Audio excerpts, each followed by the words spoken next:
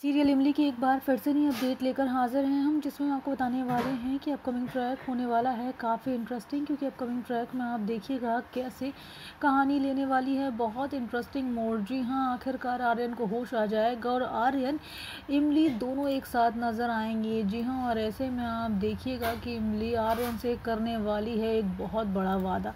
देखना दिलचस्प होने वाला है किस तरीके से आखिरकार इमली आर्यन से वादा करती है और आखिरकार किस तरीके से इन सब के बाद आर्यन और इमली का रिश्ता सुधरता है। ये जानने के लिए बने रहिए हमारे साथ और सब्सक्राइब करिए हमारा चैनल।